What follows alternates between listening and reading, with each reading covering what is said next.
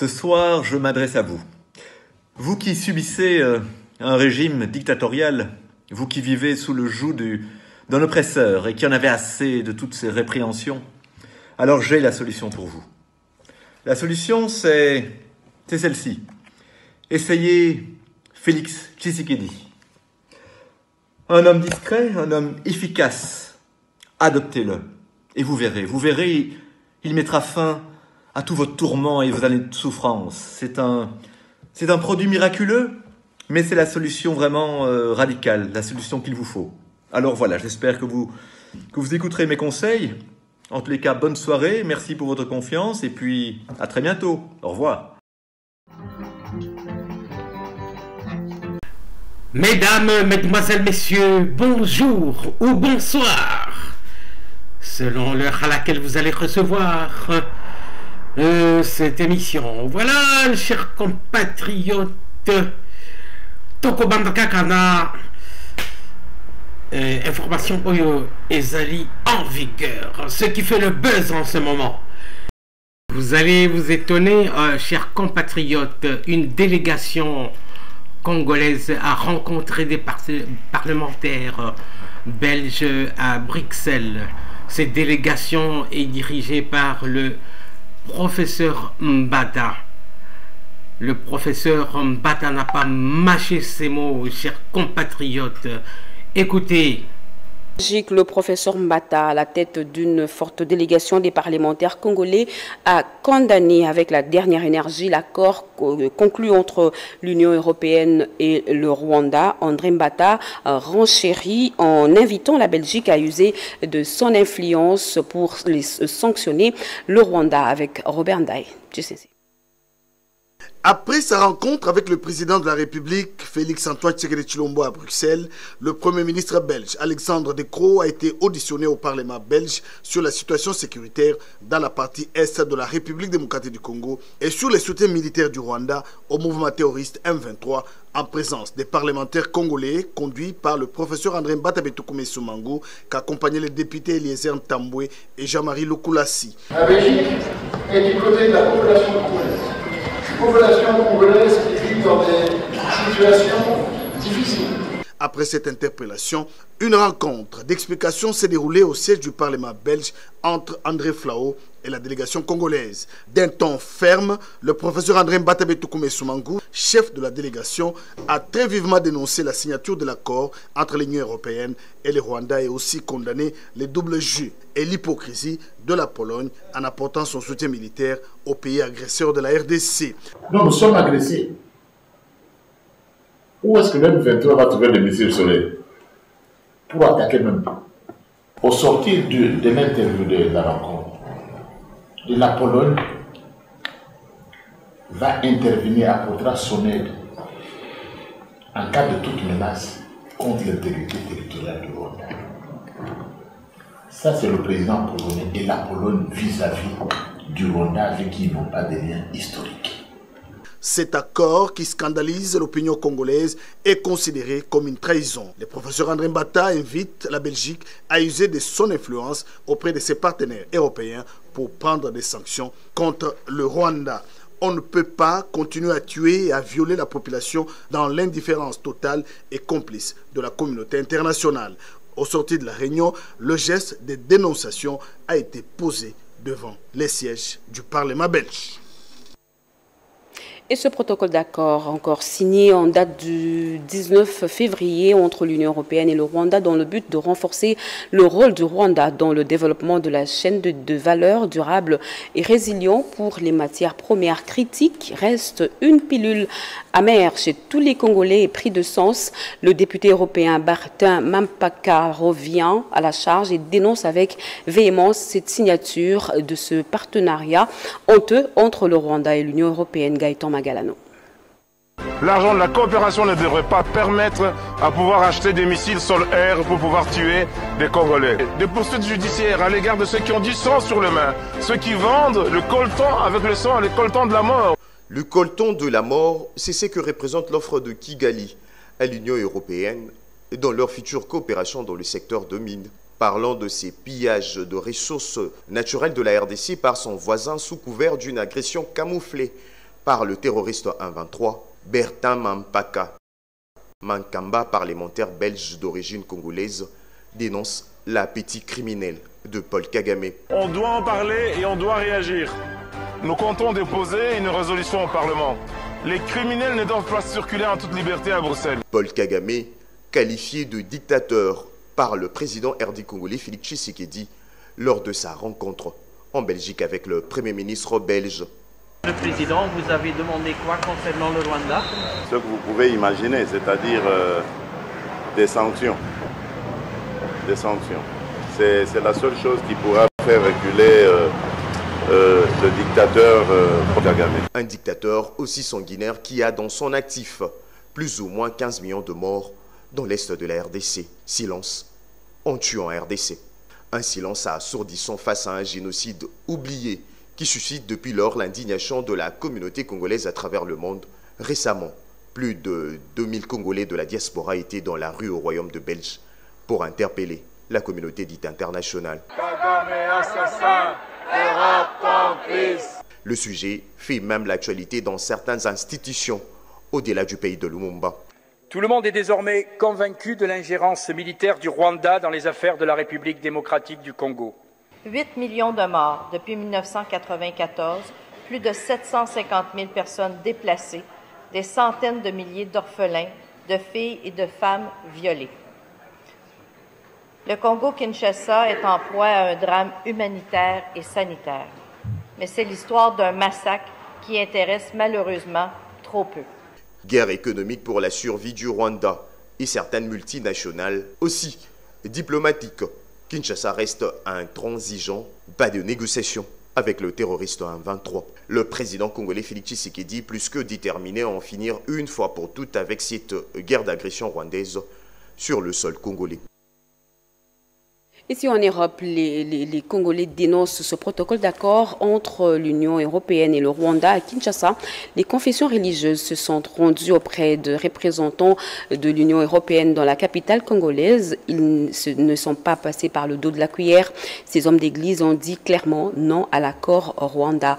Union européenne, l'État avec Rodé le contrat signé entre l'Union européenne et le Rwanda sur les minéraux de la RDC touche la sensibilité patriotique de tous les Congolais, mais aussi et surtout les différentes structures socioculturelles et politiques du pays. Pour sauver la patrie en danger, les responsables des confessions religieuses réunis au sein de la CIME sont allés rencontrer l'ambassadeur de l'Union européenne à Kinshasa avec en tête le pasteur Evaris Ejibayamampia, représentant légal des églises de réveil au Congo, RC, pour lui témoigner leur indignation condamner cet accord scandaleux conclu avec le Rwanda qui n'a aucun minerai dans son sous-sol et exiger réparation. Comme nous l'avions annoncé le mardi, nous avons parlé sur l'accord des minéraux avec le Rwanda et l'Union européenne. sur ce point-là, il nous a tranquillisés en disant travaillons ensemble pour faire en sorte que cet accord, au lieu que ça soit avec le Rwanda, que ça puisse être avec la République démocratique du Congo. Il a manifesté manifester son intention que nous puissions continuer ces échanges de manière à matérialiser toutes choses. À ce qui concerne la guerre, il a dit tous, l'Union européenne comme les autres institutions internationales sont d'avis que la guerre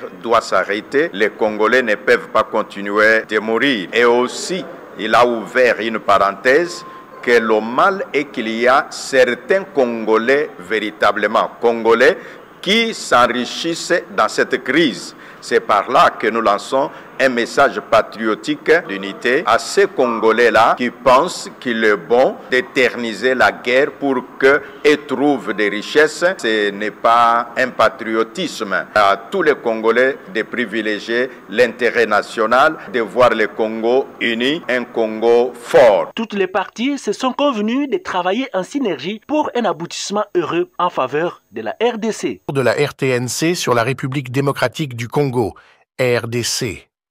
Pour résumer, la RDC traverse actuellement une crise complexe au nord Kivu qui la place au cœur d'un défi géopolitique de taille.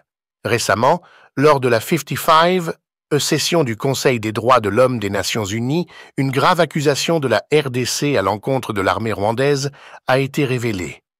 Cette révélation a déclenché des tensions diplomatiques, créant des vagues qui s'étendent bien au-delà des frontières de CS nations africaines. Accusation au Conseil des droits de l'homme de l'ONU. La session s'est ouverte sur une révélation surprenante. Le représentant permanent de la RDC a accusé l'armée rwandaise de violation flagrante des droits de l'homme sur le sol congolais. Cette accusation audacieuse a donné le ton d'une épreuve de force diplomatique, la RDC dénonçant avec véhémence l'agression présumée et exigeant que la communauté internationale se penche sur la situation critique qui se déroule à l'intérieur de ses frontières. Partenariat controversé entre l'UE et le Rwanda. Parallèlement, le partenariat controversé de l'Union européenne avec le Rwanda a été largement condamné. Ce partenariat, qui vise à renforcer le rôle du Rwanda dans le développement d'une chaîne de valeur durable pour les matières premières essentielles, a divisé l'UE.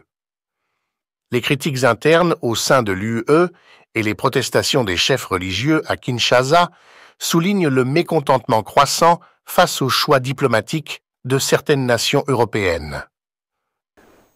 L'argent de la coopération ne devrait pas permettre à pouvoir acheter des missiles sol-air pour pouvoir tuer des Congolais. Des poursuites judiciaires à l'égard de ceux qui ont du sang sur les mains, ceux qui vendent le coltan avec le sang, le coltan de la mort.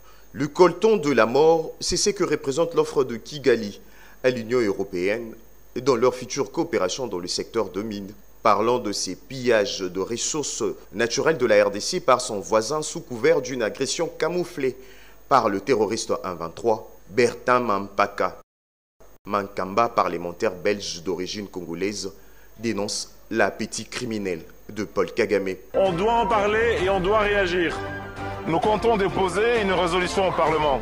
Les criminels ne doivent pas circuler en toute liberté à Bruxelles. Paul Kagame, qualifié de dictateur par le président RD congolais Félix Tshisekedi lors de sa rencontre en Belgique avec le Premier ministre belge le Président, vous avez demandé quoi concernant le Rwanda? Ce que vous pouvez imaginer, c'est-à-dire euh, des sanctions. Voilà, chers compatriotes, en ce net moment, on peut parler d'une victoire euh, euh, diplomatique. Depuis que le président de la République s'est rendu en Belgique, ensuite en Russie ou au Kremlin pendant quelques heures, puis en Turquie où il se trouve en ce moment en Antalya, on peut parler d'une victoire diplomatique. Alors, qu'est-ce que la Belgique euh, propose? Avec Fox Times.cd, euh, on peut savoir euh, ce qui suit concernant la guerre à l'Est. La Belgique est prête à travailler avec l'Union européenne pour sanctionner ceux qui déstabilisent la RDC. Ça, c'est Alexander De Croo. Alors, invité vendredi 1er mars 2024 à la Chambre des représentants du Royaume de Belgique pour donner des éclaircissements sur la guerre dans la partie est de la RDC, Alexander De Croo, Premier ministre belge, a fait savoir que son gouvernement euh, était prêt à travailler ensemble avec l'Union européenne pour établir une liste des sanctions individuelles visant les personnes impliquées dans la déstabilisation du Congo. Vous comprendrez, euh, chers compatriotes, le Rwanda est toujours ménagé. Bon, des sanctions individuelles, est-ce que Kagame, Paul Kagame serait épargné? Voilà, le chef du gouvernement du Royaume de Belgique a laissé entendre que la situation sécuritaire dans l'est de la RDC est tellement dramatique depuis très longtemps et les victimes sont complètement innocentes. Qu'est-ce qu'il dit là? J'ai eu l'occasion de m'entretenir pendant une heure avec le président Félix Antoine Tshisekedi qui était de passage à Bruxelles. J'ai eu l'occasion d'aborder trois thèmes. La situation dans l'Est de la RDC, la convention avec la Commission européenne et les perspectives pour sa législature. Comme vous l'avez indiqué tous, la situation dans l'Est de la RDC est dramatique depuis bien trop longtemps et il y a trop de victimes civiles qui sont complètement innocentes, a déclaré le Premier ministre belge, et d'ajouter j'ai indiqué que la Belgique euh, était prête à étudier des sanctions individuelles par rapport à des gens démontrés coupables de violence dans l'Est de la RDC. On est prêt à travailler ensemble avec l'Union européenne pour établir une liste euh, des individus sur lesquels des sanctions pourraient porter. Voilà en bref. Donc euh, à noter que cette réaction du Premier ministre belge fait suite euh, à la demande du président Félix Antoine Tshisekedi Chilombo de sanctionner le Rwanda qui sème la désolation dans l'est de la RDC sous couvert des terroristes du M23. Voilà, chers compatriotes. Chers compatriotes, nous terminons par ici pour l'instant aujourd'hui et on se retrouve dans les prochaines émissions. On termine à cause de ces victoires euh, diplomatiques avec euh, de la musique de Lei King de Wazalendo. Ils sont tous des Wazalendo, des militaires musiciens.